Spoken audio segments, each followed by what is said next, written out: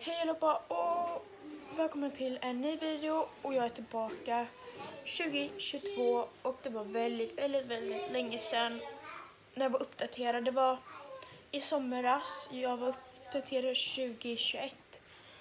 Men nu är jag tillbaka, Jag är 13 år nu, tonåring.